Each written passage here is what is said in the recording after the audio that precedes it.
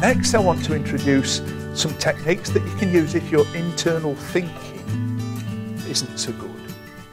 So sometimes as human beings, we can get caught with, it's like either a memory or something that we imagine at a picture level that's unhelpful to us.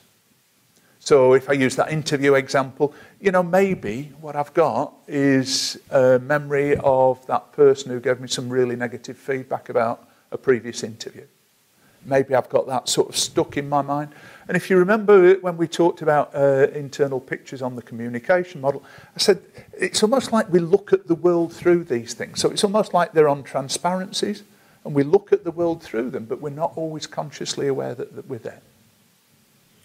Or we might be imagining uh, something bad happening. So we might be imagining not being able to answer questions, or maybe we imagine tripping up on our way into the interview or whatever.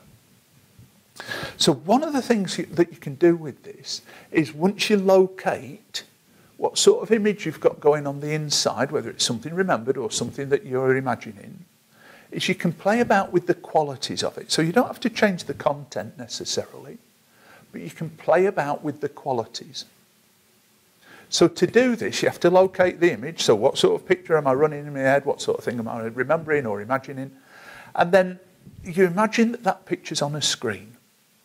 And just notice what happens if you had a TV remote that could affect that picture on the screen.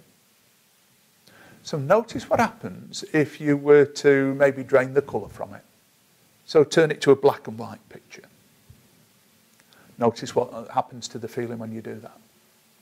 Notice what happens if you move it further away. Perhaps move that picture, perhaps it's very close. Notice what happens if you put it at the end of the room.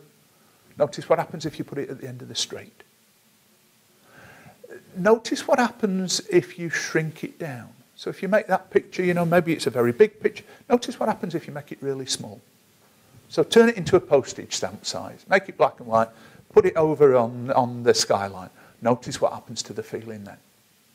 So very often, if we're running unhelpful internal pictures, as long as I can locate them and notice what it is that I'm either remembering or imagining, then I can use this technique to change the qualities, shrink it down, make it black and white, move it further away, do anything with it. That sometimes can turn down the feeling of anxiety. So that's number one.